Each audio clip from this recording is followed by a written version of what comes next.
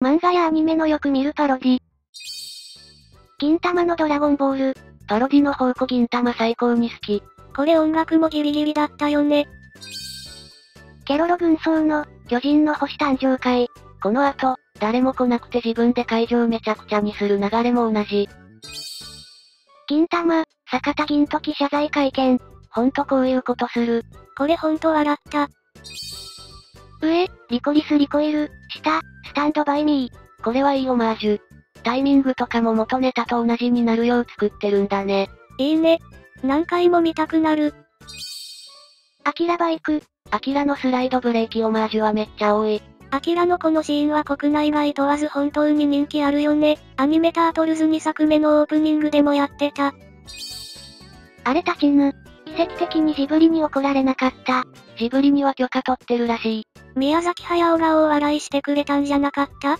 銀玉でもネタにしてたよね。しかもこれ風立ちぬと同時期に公開した映画で実際流れてたやつだからね。わら、ジブリも許可出したとか狂ってる。かなり寛大らしいよ宮崎のお父様。一方で本人からのクレームでほぼ黒塗り登場の人もいるけど、蓮舫さんが登場する話は、DVD やネットフリックスなどで黒塗りになっているらしいね。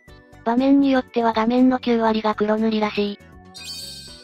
平成ヤッターマンよりドロンジョ様、トンズラー。パロディというか中の一つながり。ドロンジョ様の声が旧のび太で、トンズラーの声が旧ジャイアン。名探偵コシン。オッケー、高山みなみがナレーションしてくれたんだよね。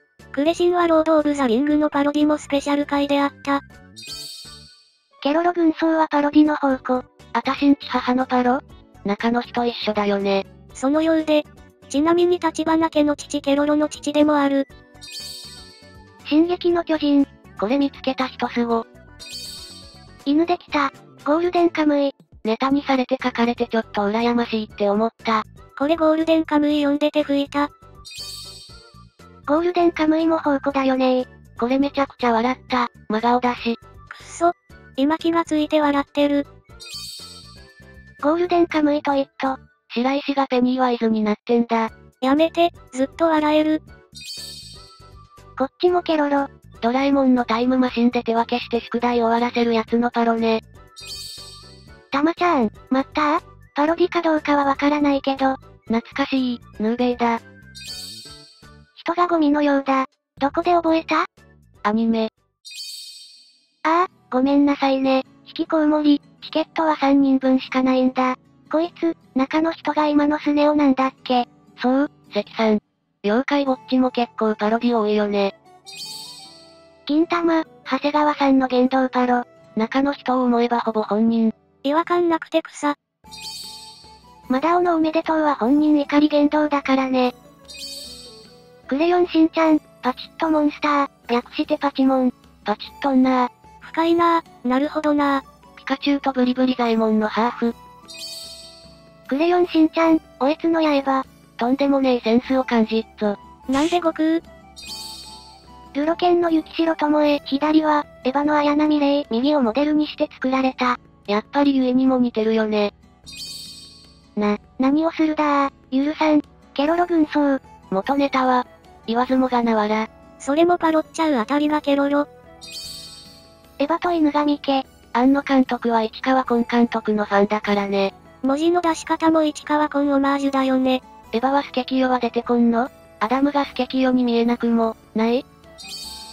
明日のジョーのラストは元ネタを知らなくてもパロディアオマージュを見たことがある若い人は多そう。確かに。ジョジョ風妖怪ウォッチ。こっちも、妖怪ウォッチ、孤独のグルメ。五郎さんの顔だ。クレヨンしんちゃん、佐藤ここの稼働。しかも伊東洋華堂はそのパロディに好意的なんだよね。私佐藤ここの稼働のエコバッグ使ってる。なにこれ、欲しい。薄いよしとのパロディセンスすごいよね。埼玉の伊東洋華堂って佐藤ここの稼働化したことあるよね？あれ写真撮りたかったな。農林第8話、エンディング、曲名が、ポニーテールの始終で映像が春日のゴッドノーズ、のパロこれ、キッズアート、ナゾルー、のとこか。時は来た。それだけだ。キンカム、プロレス好きだからこのシーンは大爆笑した。ゴールデンカムイは、名画のパロディも多いよね。ちゃんと座る位置考えられてて、後の展開の後このシーン思い出した。クレヨンしんちゃん、先生たちの、セーラームーンパロ。中の人が二人同じだからね。あげお先生あなたは金髪白セーラーでしょ。みんなの憧れ、まっすぐ行ってぶっ飛ばす。右ストレートでぶっ飛ばす。姫様拷問の時間ですの、まっすぐ行ってぶっ飛ばす。右ストレートでぶっ飛ばす。が裏飯ゆうすけで大好き。この漫画気になってたんだよね。読んでみようかな。だが断る。髪型だけにしとけ。サイキクスオの、ジョジョネタ。逃げちゃダメだ。逃げちゃダメだ。僕だって乗りたくて乗ってるわけじゃないのに。